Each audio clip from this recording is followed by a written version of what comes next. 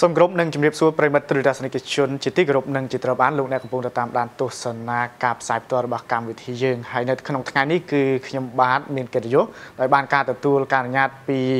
លោកអុកញ៉ាវិជ្ជបណ្ឌិតគួចមេងលីស្ថាបនិកនិងជាប្រធានក្រុមប្រឹក្សា និងជាអគ្គនាយកប្រតិបត្តិក្រុមហ៊ុនមេងលីជេគួច Holding ផងដែរបាទសូមជំរាបសួរលោកអុកញ៉ាវិជ្ជបណ្ឌិតបាទ ជាថ្មីម្ដងទៀតអរគុណដល់លោកអុកញ៉ាវិជ្ជបណ្ឌិតដែលបានផ្ដល់ឱកាសក៏ដូចជាចំណាយពេលវេលាដ៏មានតម្លៃដល់ក្រុមការងារកម្មវិធីបណ្ដាញព័ត៌មានអប្សរា NN របស់យើងនៅក្នុងថ្ងៃនេះផ្ដល់កិច្ចសម្ភារតាក់ទងទៅនឹងវិស័យអប់រំក៏ដូចជាប្រវត្តិរបស់លោកអុកញ៉ាផ្ទាល់តែម្ដង អរគុណច្រើនបងអូនប្រុសហើយអរគុណដល់ប៉ុស្តិ៍ទូទូអប្សរាដែលផ្ដល់ឱកាសខ្ញុំចូលរួមសម្ភាសបាទខ្ញុំឈ្មោះគួយមេងលីជាកូនខ្មែរបានរស់នៅក្នុងសហរដ្ឋអាមេរិកហើយខ្ញុំបានត្រឡប់មកមាតុភូមិវិញនៅក្នុងឆ្នាំ2002ជាពេទ្យស្ម័គ្រចិត្តបាទហើយបានរស់នៅក្នុងស្រុកខ្មែរបានឆ្លងកាត់ជំនាន់ពលពតដោយប្រជាពលរដ្ឋយ៉ាងទូទៅដែរហើយត្រឡប់មកស្រុកខ្មែរវិញក្នុង2002បន្ទាប់ពីរស់នៅតាំងពី2 តាំងពី1979ចេញពីប្រទេសទៅបន្ទាប់ពីខ្មែរក្រហមរលំអញ្ចឹងណាបាទហើយមកវិញជាពេទ្យស្ម័គ្រចិត្តតាមអង្គការដៃគូសម្រាប់អភិវឌ្ឍខ្ញុំរៀបអាពាហ៍ពិពាហ៍ក្នុង2004បាទហើយនៅស្រុកខ្មែរយើងនេះអញ្ចឹងបច្ចុប្បន្ននេះយើងមានកូនស្រី2បាទហើយបងប្អូនខ្ញុំទាំងអស់គាត់នៅសហរដ្ឋអាមេរិកទាំងអស់ដែរបាទ បាទប្រវត្តិជូរចត់ឆ្លងកាត់តាំងពីតូចរហូតមកដល់ធំដឹងក្តីហើយលោកអង្ញាបានបន្តការសិក្សានៅក្រៅប្រទេសទៀតផងនិយាយអំពីវិស័យអប់រំវិញតើតើបច្ចុប្បន្នលោកអង្ញាវិជ្ជបណ្ឌិតបានវិនិយោគទៅលើវិស័យអប់រំក៏ដូចជាវិស័យពាណិជ្ជកម្មទៅលើអ្វីខ្លះដែរបាទអឺការខ្ញុំចាប់ផ្ដើមក្នុង2005ហ្នឹងខ្ញុំឃើញថាវិស័យអប់រំនៅស្រុកខ្មែរជំនាន់ហ្នឹងមានបើកថ្មីថ្មីជិត30ក៏ប៉ុន្តែវាមិនមែនជាទស្សនៈអ្នកអប់រំ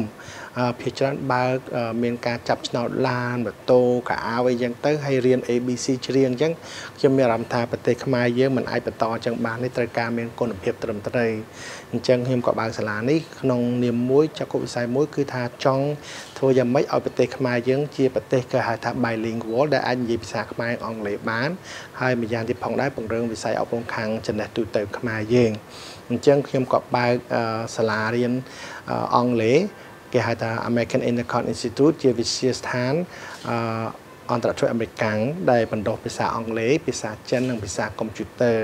ហើយក៏បើកសាលារៀនខ្មែរផងដែរផងដែរពីក្រោមបតីមសិក្សាទៅដល់បតីមសិក្សារហូតដល់វិទ្យាល័យអញ្ចឹងយើងជោគជ័យដោយសារកត្តាយកចិត្តទុកដាក់ទៅលើគុណភាពជាចម្បងសេវាកម្មថ្លៃថ្នូរផ្ដល់ដល់លោកឪពុកម្ដាយនិងសិស្សានុសិស្សទាំងអស់ ហើយម្យ៉ាងទៀតយើងជាសាលារៀនមួយដែលមានវិន័យត្រឹមត្រូវច្បាប់ទម្លាប់ហើយនឹងផ្ដល់ផលប្រយោជន៍ដល់បុគ្គលិកដល់គ្រូ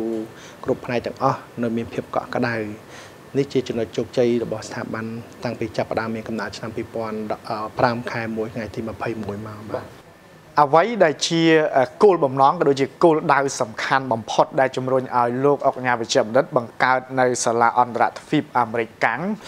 គោលដៅរបស់ខ្ញុំខ្ញុំជាគេហៅថាវិជ្ជបណ្ឌិត by profession educator by field ហើយ philanthropist by passion អឺមិនដឹងថាខ្មែរបកថាម៉េចថាវិជ្ជបណ្ឌិតនេះគឺតាមជំនាញរបស់ខ្ញុំហើយអ្នកអប់រំគឺខាងការពិសោធន៍និងចំណេះដឹងរបស់ខ្ញុំហើយការធ្វើបន់ទានគឺតាមចំណូលចេតនាការចូលចិត្តហើយគោលដៅខ្ញុំបើកនេះគឺ ដើម្បីចូលរួមចំណែកអភិវឌ្ឍវិស័យអប់រំនៅស្រុកខ្មែរនិងពង្រឹងសុខាភិបាលនៅស្រុកខ្មែរយើងហើយខ្ញុំឃើញថាការបើកទៅនឹងមានការលូតលាស់ហើយការលូតលាស់នេះអាស្រ័យទៅលើការមានការគ្រប់គ្រងពីលោកឪពុកអ្នកម្ដាយការខ្ញុំបើកហ្នឹងគឺក្នុងឆ្នាំ2005ហ្នឹងមានសិស្ស4នាក់ក៏ប៉ុន្តែរហូតដល់2007ក្នុងរយៈពេល2ឆ្នាំមានសិស្សកើនដល់តែ10000នាក់អញ្ចឹងយើងឃើញថាភាពជោគជ័យនេះ គឺបដោតឡើងមកដោយសារមានការខិតខំប្រឹងប្រែងយកចិត្តទុកដាក់ជាពិសេសប្រោតទៅលើចំណេះដឹងហើយខ្ញុំឃើញថាតាំងពីខ្ញុំបើកមកក៏មានសាលាច្រើនទៀតបើកហើយក៏មានរូបមន្តផាក់ផាយគ្នាធ្វើយ៉ាងម៉េចគឺធ្វើឲ្យកូនខ្មែរយើងមានភាពក្លាហានមានភាពចេះដឹងច្បាស់លាស់ហើយចេះភាសាអង់គ្លេសដើម្បីប្រកួតប្រជែងក្នុងតំបន់អាស៊ានរបស់យើងដែលនឹងចាប់ផ្ដើមចូលរួមគ្នានៅក្នុងឆ្នាំ2015ចុងខែ12នេះបាទ ឥឡូវនេះយើងនិយាយអំពីធនធានមនុស្សនៅក្នុងវិទ្យាស្ថានវិញម្ដងបើប្រៀបធៀបទៅនៅពេលដែលសិស្សដែលគាត់បញ្ចប់ការសិក្សាពីវិទ្យាស្ថាននេះទៅតើតើគុណភាពនៃចំណេះដឹងរបស់គាត់តើតើទទួលបានកម្រិតណាដែរសិស្សខ្ញុំបច្ចុប្បន្ននេះអង់គ្លេសមានជាង4000នាក់សិស្សខ្មែរមានប្រហែល4000ហើយទាំងអស់បូកមក បើតាមពិត9600នាក់បាទហើយយើងឃើញថាទាំងសិស្សអង់គ្លេសទាំងសិស្សខ្មែរពេលណារៀនចប់គឺមានភាពក្លាហាននិយាយភាសាអង់គ្លេសបានច្បាស់លាស់ហើយមានវិជ្ជាប្រយោជន៍ចូលរួមចំណែកក្នុងសង្គមដឹកនាំគេក្នុងសាកលវិទ្យាល័យហើយម្យ៉ាងទៀតផងដែរចូលរួមចំណែកក្នុងការស្ម័គ្រចិត្តហើយលេចធ្លោនៅការប្រកួតប្រជែងនានាដែលថាគេតែងតែមាននៅក្នុងជាតិយើង សាលាខ្ញុំបើយើងគិតទៅនៅក្នុង2005មកដល់បច្ចុប្បន្នគឺជាសាលាដំបូងគេក្នុងប្រវត្តិសាស្ត្រស្រុកខ្មែរដែលបាននីតិ A បបែកឯកតកម្មក្នុងប្រវត្តិសាស្ត្រប្រជាពលរដ្ឋខ្មែរយើងបានហើយក៏ជាសាលាដំបូងគេដែលឈ្នះការតស៊ូមតិប្រចាំជាតិ2ដងជាប់ជាប់គ្នាហើយលើកទី1គេបញ្ជូនទៅប្រទេសកូរ៉េហើយចំពោះលើកទី2នៅក្នុងឆ្នាំមុននេះគឺយើងជាប់លេខ1ទៀតហើយគឺបញ្ជូនទៅជប៉ុនបានជាប់លេខ1តំណាងឲ្យអាស៊ីយើងហើយទៅប្រកួតប្រជែង4នាក់ មកតំណាង4ទ្វីបនៅប្រទេសអាល្លឺម៉ង់ហើយបានលេខ2ហើយការរៀបចំប្រកួតប្រជែងជាຂະຫນາດជាតិផងដែរ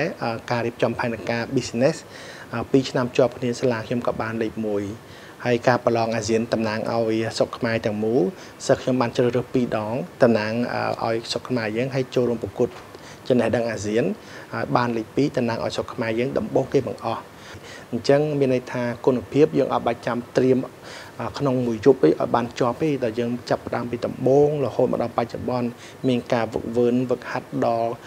សិស្សយើងហើយនឹងផ្ដល់ចំណេះដឹងដល់គ្រូយើងដើម្បីមានការបណ្ដុះបណ្ដាលដល់សិស្សហ្នឹងចាប់តាំងពីថ្ងៃ1រហូតមកដល់បច្ចុប្បន្ន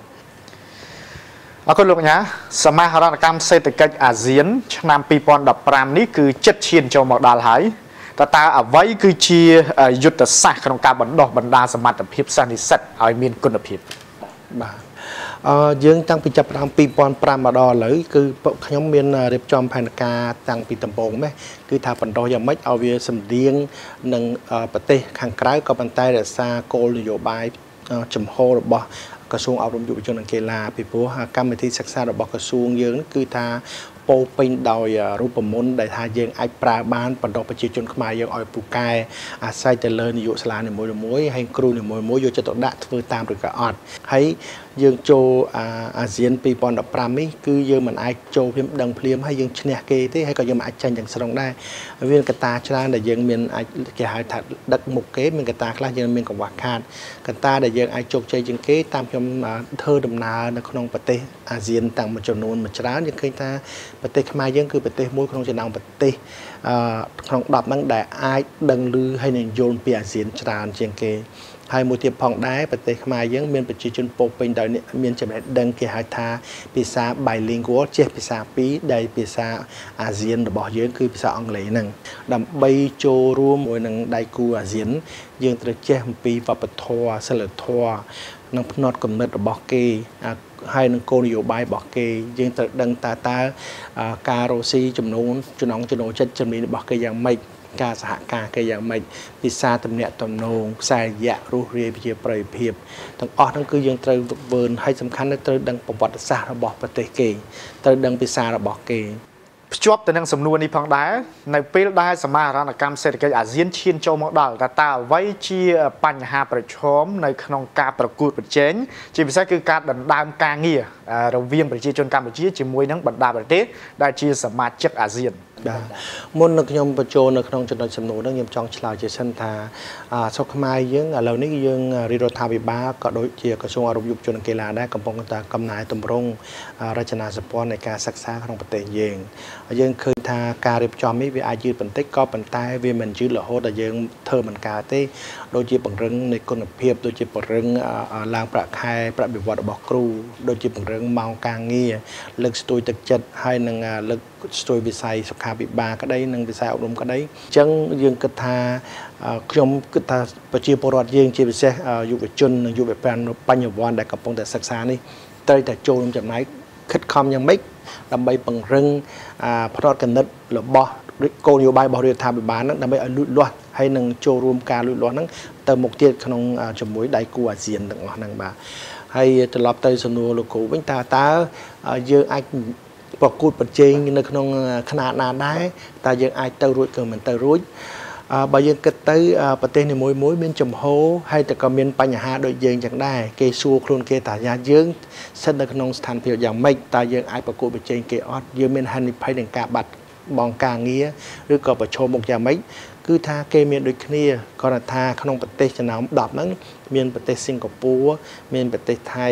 ក៏ដូចជាប្រទេសម៉ាឡេស៊ីអីចឹងក៏គេមានសក្តានុពលខ្ពស់ជាងយើងក្នុងនាមសេដ្ឋកិច្ចគេធំជាងប្រជាពលរដ្ឋគេច្រើនជាងការអភិវឌ្ឍគេច្រើនជាងក៏ប៉ុន្តែមានប្រទេសឥណ្ឌូឆៃណាមួយចំនួន ក្នុងនោះដូចជាភូមាឡាវកម្ពុជាវៀតណាមអីចឹងយើងអាចនិយាយថា ស្ថិតនៅក្នុងប្រហាក់ប្រហែលគ្នា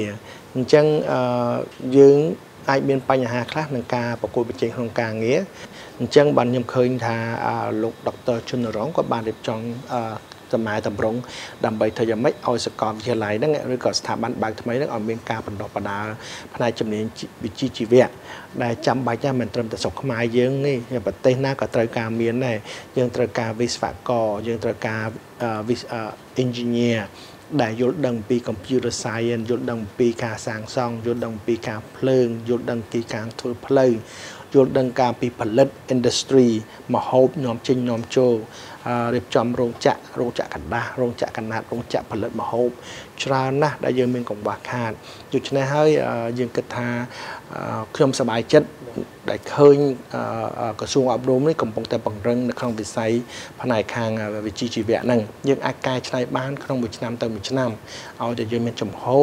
រឹងមាំនៅជំនឿរបស់យើងថាយើងត្រូវតែកែតម្រង់ហ្នឹងហើយពង្រឹងវិស័យអប់រំហ្នឹងឲ្យមានចំណេះដឹងទូលំទូលាយគ្រប់ជំនាញដែលថាប្រទេសខ្មែរយើងក៏ដូចប្រទេសអ្នកដទៃដែរត្រូវការបាទបាទបាទអរគុណមែនទែនដល់លោកអុកញ៉ាវិជ្ជបណ្ឌិតចុងក្រោយតើតើមានពាក្យពេចន៍អ្វីដើម្បីផ្ដាំផ្ញើដល់ទូរទស្សនិកជនដែលកំពុងតែតាមដានទស្សនានៃកម្មវិធីបណ្ដាញព័ត៌មានអប្សរា NN របស់យើងនៅពេលនេះបាទអឺខ្ញុំមិនដឹងមានការអីណែនាំជួយឲ្យអនុសាសន៍ទេគ្រាន់តែថានេះតាមពិសោធន៍របស់ខ្ញុំនៅប្រទេសណាក៏ដោយប្រទេសណាដែលគេតែងតែវិទ្យុទៅលើយុវជន ព្រោះយុវជនគឺជាស្នូលរបស់ទ្រូងរបស់ប្រទេសបាទសំខាន់ណាស់បើយើងអត់មានយុវជនទេគឺប្រទេសយើងมันមាននិរន្តរភាពនឹងការវត្តមាននៅក្នុងโลกដូចទេណាប្រទេសណាដូចប្រទេសណាដែរអញ្ចឹងយើងត្រូវការដើម្បីឲ្យប្រទេសខ្មែររឹងពឹងតតយុវជនជំនាន់ក្រោយហ្នឹងគាត់មានចំណេះដឹងគាត់មានជំនាញគាត់មានចំណងចំណូលចិត្តស្នាជាតិអភិវឌ្ឍដូច្នេះហើយសង្ឃឹមថា ចូលរួមទាំងអស់គ្នាវាយកទៅលើយុវជនព្រោះព្រោះបច្ចុប្បន្នគាត់ត្រូវការយើងប៉ុន្តែថ្ងៃអនាគតយើងនិងប្រទេសជាតិទាំងមូលត្រូវការគាត់ចឹងយើងត្រូវឲ្យតម្លៃទៅដល់យុវជនយើងហើយមួយទៀតឲ្យតម្លៃដល់នារីនារីជាកត្តាបុគ្គលមួយដ៏សំខាន់ណាស់ដូច្នេះហើយជួយលើកស្ទួយកូនខ្មែរយើងកុំប្របាក់ទឹកចិត្តកុំជិះជាន់គុំគៀបសង្កត់កូនខ្មែរឲ្យឱកាសកូនខ្មែរយើងងើបឡើងរស់ឡើងមានសេចក្តីក្លាហាន ដើម្បីចូលរួមអភិវឌ្ឍជាតិយើងទាំងអស់គ្នាបាទ បាទជាថ្មីម្ដងទៀតអរគុណដល់លោកអុកញ៉ាវិជ្ជបណ្ឌិតគួចមេងលីដែលបានផ្ដល់កិត្តិយសក៏ដូចជាចំណាយពេលវេលាដ៏មានតម្លៃក្នុងការផ្ដល់ជូននៅកិច្ចសម្ភាសជាមួយនឹងក្រុមការងារនៃកម្មវិធីបណ្ដាញព័ត៌មានអប្សរា NN ចុងក្រោយជូនពរលោកវិជ្ជបណ្ឌិតជួបប្រទះតែជោគជ័យគ្រប់ភារកិច្ចហើយសុខភាពល្អបាទសូមអរគុណ